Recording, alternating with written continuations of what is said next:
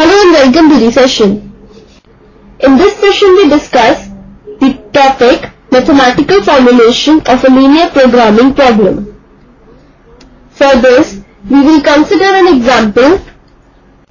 We have this example of a company which manufactures toys of two types, type A and type B. Now for type A toys, 6 minutes are required for cutting and for type B toys, 8 minutes are required for cutting. Then for assembling, toy A or toys of type A requires 12 minutes and toys of type B require 6 minutes and there are at most 3 hours 20 minutes available for cutting and for assembling there are at most 4 hours 10 minutes available. And the profit is $60 for the toys of type A and $30 for the toys of type B. And we are supposed to find out the number of toys of each type such that the company attains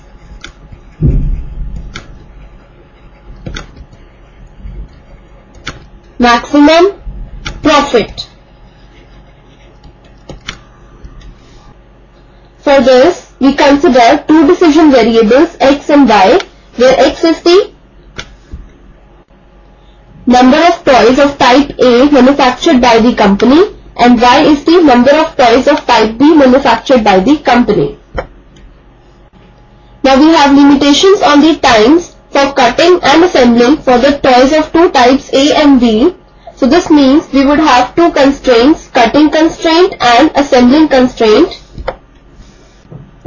Now as we have 6 minutes are required for cutting of toys of type A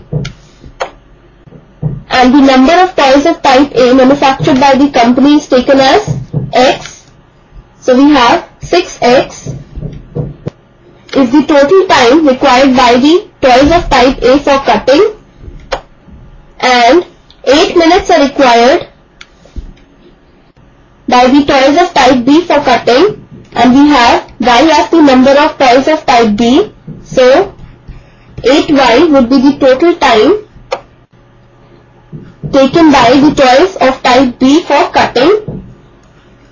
And we have at most 3 hours 20 minutes available for cutting so this means 6x plus 8y would be less than equal to 3 hours 20 minutes which would be equal to 180 plus 20 minutes or you can say 200 minutes. So 6x plus 8y is less than equal to 200. So this is the cutting constraint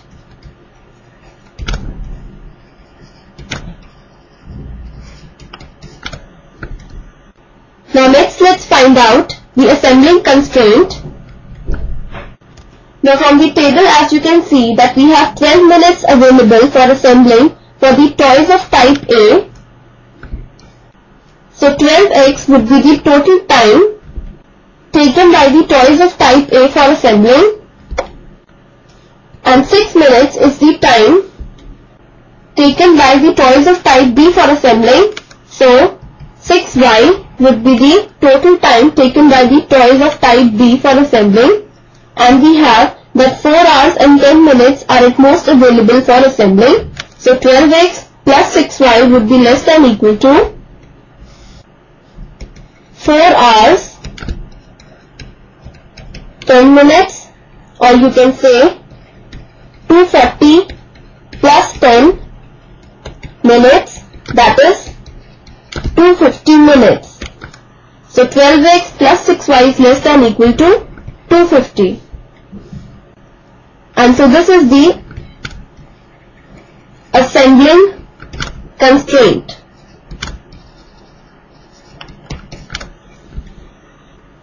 Now we have the decision variables as x and y which would be non-negative that is x greater than equal to 0 and y greater than equal to 0 and these are the non-negative constraints.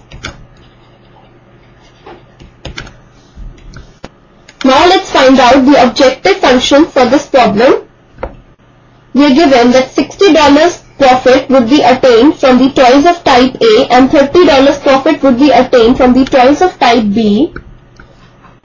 So, profit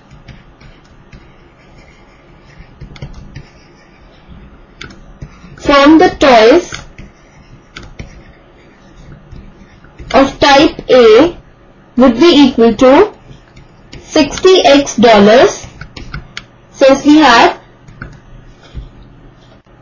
that X is the number of toys of type A manufactured by the company and $60 is the profit attained on manufacturing toys of type A. In the same way, we have profit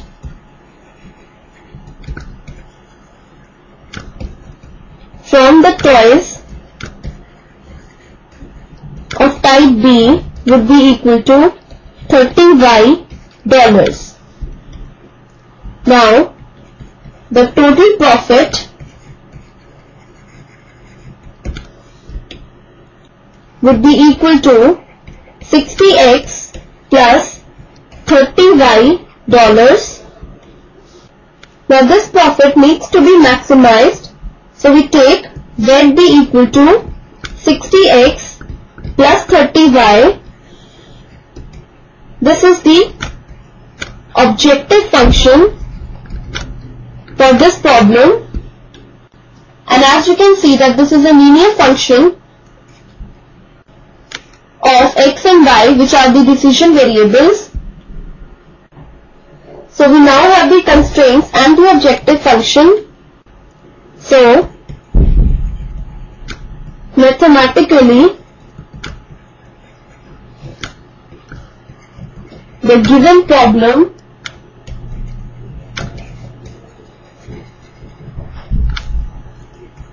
now reduces to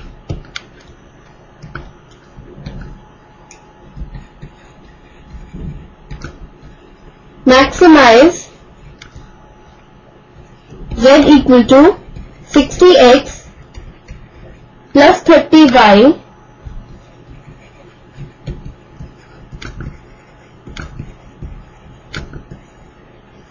subject to the constraints